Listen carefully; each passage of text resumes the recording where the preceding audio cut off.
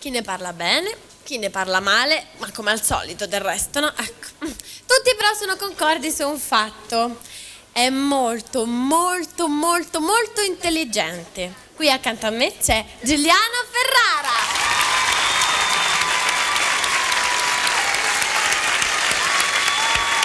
Chi frequentava Giuliano Ferrara a 15 anni? Beh, frequentavo i ragazzi del villaggio, abitavo in un piccolo mm, quartiere di Roma pieno di, di amici. Era un'epoca eh, turbolenta.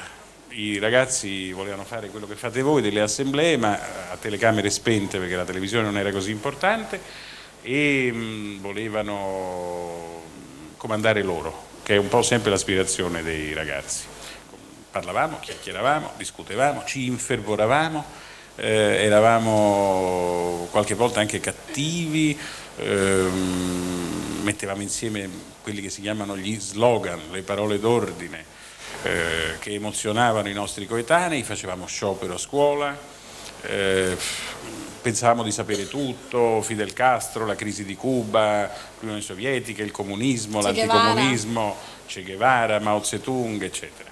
Senta, ma quante cotte ha preso nella sua vita lei? Beh, insomma, cotte tante naturalmente, e, e, diciamo mm, alcune felici, altre meno, ma insomma cotte tante, come tutti poi.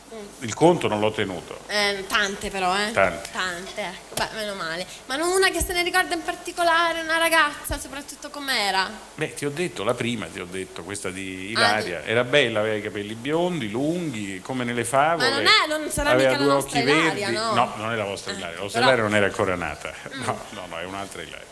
Non sarebbe bene che tutti la pensassero allo stesso modo. È la diversità di opinioni che rende possibile le corse dei cavalli. sì, non c'è Ecco, dubbio, è vero. Giusto, no? È vero, è Lei cosa ne dice di questa cosa qui?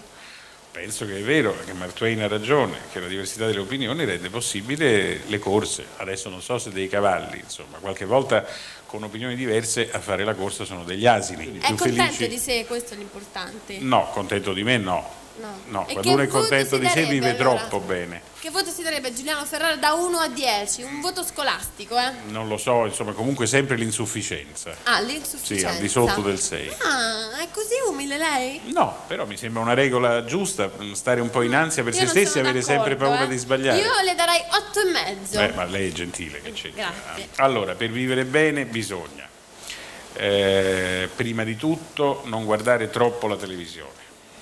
Mm.